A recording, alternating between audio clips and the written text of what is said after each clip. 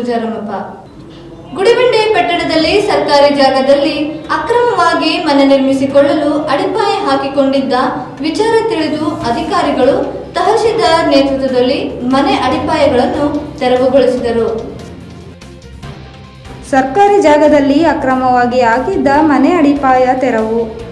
ಗುಡಿಬಂಡೆ ಪಟ್ಟಣದ ಸಮೀಪದ ಓಬಳ ದೇವರ ಗುಟ್ಟದ ಹಿಂಭಾಗದ ಸರ್ಕಾರಿ ಜಮೀನಿನಲ್ಲಿ ಕೆಲವರು ಅತಿಕ್ರಮ ಮಾಡಿ ಮನೆ ನಿರ್ಮಿಸಿಕೊಳ್ಳಲು ಅಡಿಪಾಯ ಹಾಕಿಕೊಂಡಿದ್ದ ವಿಚಾರ ತಿಳಿದ ಅಧಿಕಾರಿಗಳು ತಹಶೀಲ್ದಾರ್ ನೇತೃತ್ವದಲ್ಲಿ ಮನೆ ಅಡಿಪಾಯಗಳನ್ನು ತೆರವುಗೊಳಿಸಿದರು. ಗುಡಿಬಂಡೆಯ ಸರ್ವೆ ನಂಬರ್ ಇನ್ನೂರ ಅರವತ್ತರಲ್ಲಿ ಸುಮಾರು ಹದಿನೇಳು ಎಕರೆ ಸರ್ಕಾರಿ ಜಮೀನಿದೆ. ಈ ಜಾಗದಲ್ಲಿ ಕೆಲವರು ಮೊದಲಿಗೆ ಗುಡಿಸಲುಗಳನ್ನು ಹಾಕಿಕೊಂಡಿದ್ದರು. ದಿನೇ ದಿನೇ ಮನೆ ನಿರ್ಮಿಸಿಕೊಳ್ಳಲು ಅಡಿಪಾಯಗಳನ್ನು ಹಾಕಿಕೊಂಡಿದ್ದಾರೆ.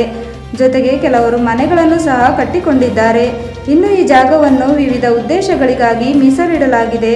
ಅಕ್ರಮವಾಗಿ ಮನೆ ಅಡಿಪಾಯಗಳನ್ನು ಹಾಕಿರುವ ವಿಚಾರ ತಿಳಿದ ಕಂದಾಯ ಇಲಾಖೆಯ ಅಧಿಕಾರಿಗಳು ಸ್ಥಳಕ್ಕೆ ತೆರಳಿ ಜೆಸಿಬಿ ಮೂಲಕ ತೆರವುಗೊಳಿಸುವ ಕಾರ್ಯಕ್ರಮವನ್ನು ಮಾಡಿದರು.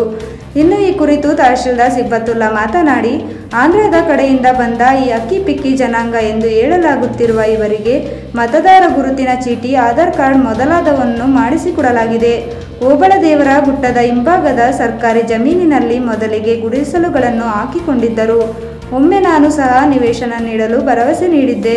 ಆದರೆ ಏಕಾಏಕಿ ಸ್ಥಳದಲ್ಲಿ ಮನೆ ನಿರ್ಮಾಣಕ್ಕೆ ಅಡಿಪಾಯಗಳನ್ನು ಹಾಕಿದ್ದಾರೆ. ಕೆಲವರು ಮನೆ ಸಹ ನಿರ್ಮಾಣ ಮಾಡಿಕೊಂಡಿದ್ದಾರೆ. ಸರ್ಕಾರಿ ಜಮೀನಿನಲ್ಲಿ ಈ ರೀತಿ ಅತಿಕ್ರಮಣ ಕಾನೂನು ಬಾಹಿರವಾಗಿದ್ದು, ಸದ್ಯ ಮನೆಯ ಅಡಿಪಾಯಗಳನ್ನು ತೆರವುಗೊಳಿಸಲಾಗಿದೆ.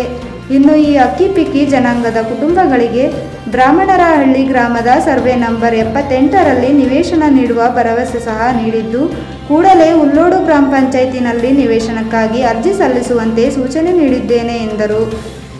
ಇನ್ನು ಈ ವಿಚಾರವಾಗಿ ಸಿಪಿಎಂ ಪಕ್ಷದ ಮುಖಂಡ ಲಕ್ಷ್ಮೀನಾರಾಯಣ ಮಾತನಾಡಿ ಈ ಭೂಮಿಯ ಮೇಲೆ ಹುಟ್ಟಿದ ಪ್ರತಿಯೊಬ್ಬ ಮನುಷ್ಯನಿಗೂ ಬದುಕು ಹಾಕಿದೆ. ಸುಮಾರು ಮೂವತ್ತು ವರ್ಷಗಳಿಂದ ಗುಡಿಬಂಡೆಯ ಸಮೀಪ ಭಿಕ್ಷಾಟನೆ ಸಣ್ಣ ಪುಟ್ಟ ವ್ಯಾಪಾರ ಮಾಡಿಕೊಂಡು ಈ ಅಕ್ಕಿಪಿಕ್ಕಿ ಜನಾಂಗದವರು ಬದುಕುತ್ತಿದ್ದಾರೆ.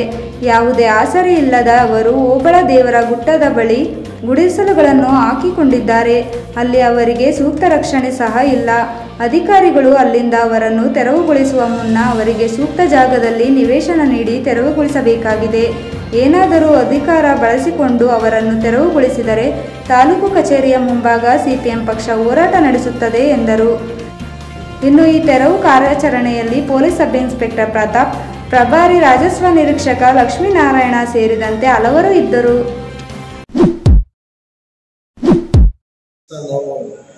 ಗುಡಿಬಂಡೆ ಇನ್ನೂರ ಅರವತ್ತು ಸಾವಿರ ನಂಬರಲ್ಲಿ ಒಟ್ಟು ಹದಿನೇಳು ಎಕರೆ ಜಮೀನು ಸರ್ಕಾರಿ ಜಮೀನಾಗಿದ್ದು ಈ ಹಿಂದಿನ ಇರ್ತಕ್ಕಂಥ ಆಂಧ್ರ ಪ್ರದೇಶ ಗಡಿಯಲ್ಲಿರ್ತಕ್ಕಂತಹ ವ್ಯಕ್ತಿಗಳು ಅಂದರೆ ಬಡವ ಕುಟುಂಬರು ಇದ್ದಾರೆ. ಸುಮಾರು ಇಪ್ಪತ್ತೈದು, ಮೂವತ್ತು ಕುಟುಂಬಗಳಿದ್ದಾರೆ.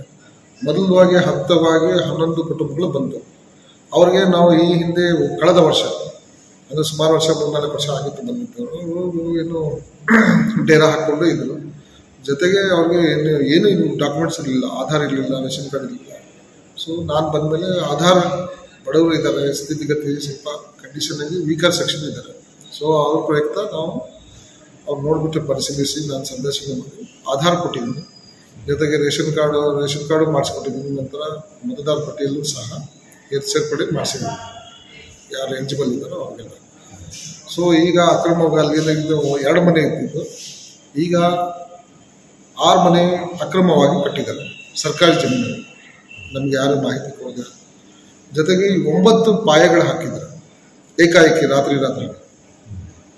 ಅದೆಲ್ಲ ಅಕ್ರಮವಾಗಿ ಕನ್ಸ್ಟ್ರಕ್ಷನ್ ಆಗ್ತಾ ಇತ್ತು. ಸೊ ಅವ್ರನ್ನೆಲ್ಲ ಇವತ್ತೆಲ್ಲ ನಾನು ವಾರ್ನ್ ಮಾಡಿ ಬಂದಿದ್ದೀನಿ. ಸೊ ಈ ಥರ ಮಾಡೋದು ಸರಿ ಇಲ್ಲ. ನೀವು ನಿವೇಶನಗಳು ನಿವೇಶನ ಬೇಕಾದ್ರೆ ನೀವು ಸಾಕಷ್ಟು ಜಮೀನು, ಸರ್ಕಾರಿ ಜಮೀನು ಇದೆ. ಬೇರೆ ವ್ಯವಸ್ಥೆ ಮಾಡ್ಕೊಂಡು ಪಲ್ಲೆಗಾರಲ್ಲಿ ಮೊನ್ನೆ ಐದು ಎಕರೆ ಜಮೀನು ಮಂಜೂರು ಮಾಡ್ಕೊಡಿ ಅದೆಲ್ಲ ಬೇಕಾದ್ರೆ ನಾನು ಕೊಡ್ತೀನಿ ಅಂತ ಹೇಳ್ಬಿಟ್ಟು ಎರಡು ಸಾರಿ ನಾನು ಹೇಳಿ ಬಂದಿದ್ದೀನಿ.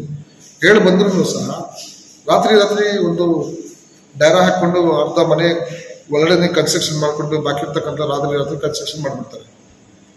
ಒಟ್ಟು ಈಗ ನೋಡಿದ್ರೆ ಈಗ ಐದು ಮನೆ ಆಗಿದೆ. ಒಂದು ಮನೆಯಿಂದ ಐದು ಮನೆ ಆಗಿದೆ. ಅಲ್ಲಿ ವಿವಿಧ ಆ ಜಾಗದಲ್ಲಿ ಇರ್ತಕ್ಕಂಥ ವಿವಿಧ ಇಲಾಖೆಗಳು ಈಗಾಗಲೇ ಸಿ ಡಿ ಪಿ ಇರ್ಬೋದು ಶ್ರೀಶಕ್ತಿ ಭವನ ಇರ್ಬೋದು, ಮತ್ತು ವಾಲ್ಮೀಕಿ ಭವನಕ್ಕೆ ಇರ್ಬೋದು. ಜಾಗ ಮಂಜೂರು ಮಾಡಾಕಿದೆ ಪಾಣಿಯಲ್ಲಿ ಸಹ ಬರ್ತಾ ಇರ್ತಾವೆಲ್ಲ ನೋಡಿರ್ಬೋದು.